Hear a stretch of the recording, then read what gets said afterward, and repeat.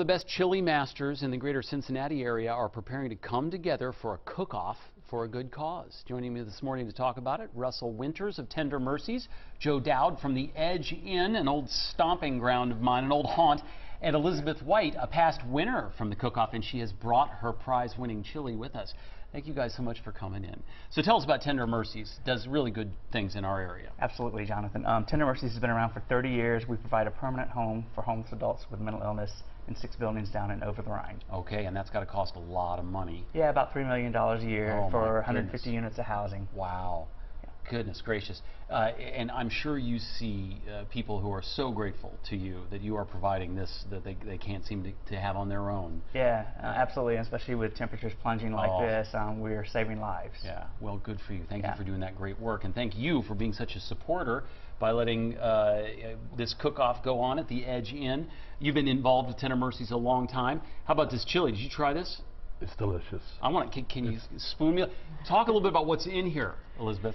Well, it's a secret recipe, but okay, you can't talk too much, Yeah. or you'd have to kill me. but I can tell you there's dark chocolate in it. Dark chocolate. Okay, you get that a little bit from the Skyline uh, cocoa part, but I see you have the larger beans as traditional chili. Mm-hmm. So would you describe this as a Cincinnati chili hybrid? No, You'd say it's straight normal chili like that, that most people are used to, except for they don't usually have chocolate. I'm sure this is excellent. it's actually more my mom's recipe. I just kind of Well, bless your mom's heart.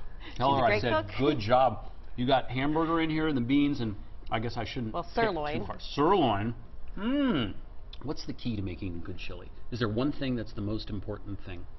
Uh, I think good meat and spice. I like spicy chili. A little bit of sweet. A little bit sweet. And is that that you, you achieve that with just the chocolate or any other ingredient? I'm not trying to get the, the recipe, but I, I'm Uh, curious.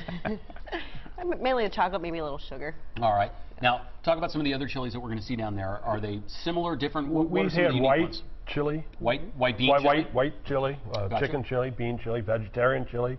Uh, we have two chefs, credited chefs, that judge. We have to have a popular vote. We've raised about ten thousand dollars over the last seven years Good for you guys. a little neighborhood bar Right. uh, for Pretty Tender good. Mercies, Oh, and yeah. it goes to a great cause. We're happy to do it.